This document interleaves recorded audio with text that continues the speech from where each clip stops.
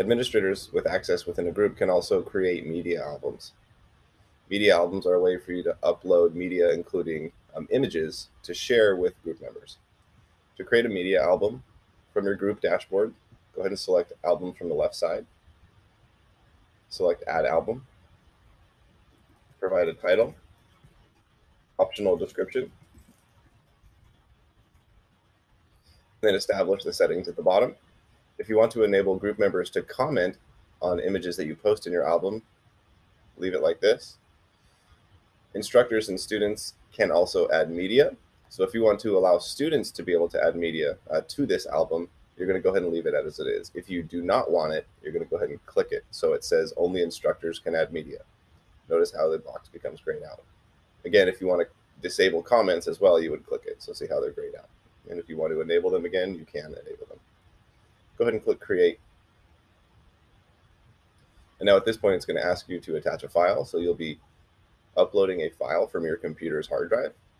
Go ahead and select an image. Upload it and click add media.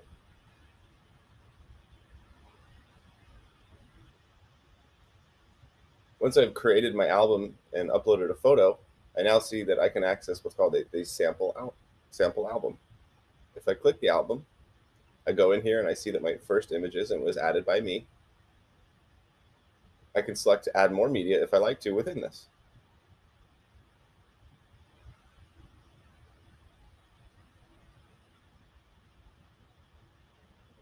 So now we have two photos uploaded to this media album. If I want to go back to see all my media albums, I go ahead and click media albums at the top and I see that my sample album now has two photos. I can click the image that I originally uploaded, and it'll take me right in back into the photo album itself. I do have some options to edit media in here. So if I select edit media, I can also include captions. So if I hover over them, and I can select which one of these photos in the album I want to make for the cover album. We can see that the first album, the first image that you upload will default to the album cover, but I can change it if I want to and make this photo the album cover, and I'm going to do that now. If you want to delete media that you've uploaded to your album, you would select delete and then save changes. We're not going to delete this one. Go ahead and save my changes. Oops. Type in my captions, save changes, go back to my album, Go back to my all my media albums. Again, here's the sample album, and we can see that the cover page has been changed to the Mount Miguel logo.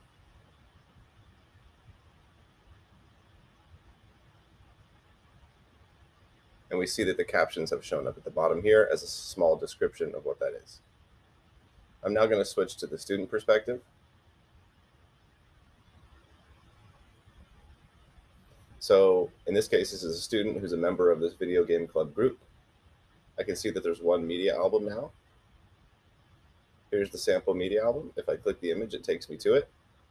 And I can see from the group member perspective, all the captions and information is here.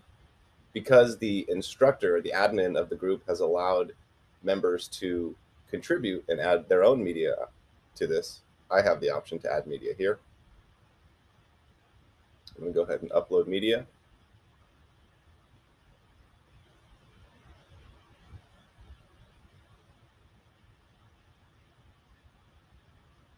And as I add media here, I do have the option to add captions.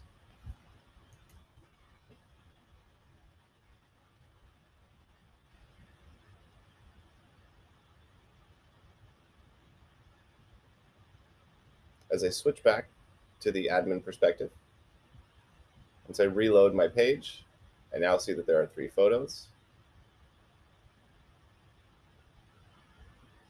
If I click a photo that was uploaded by somebody else, I see that I can comment on it.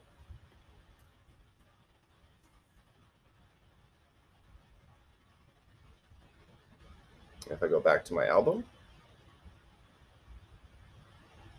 this was added by Eric Brown.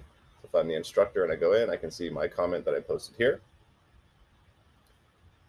Let's take a look at the, the member perspective. So I'm back in the student perspective. I'm going to go ahead and reload. And if I go ahead and click the image that I uploaded, I can see the comment was right here. And then, of course, I can comment as well.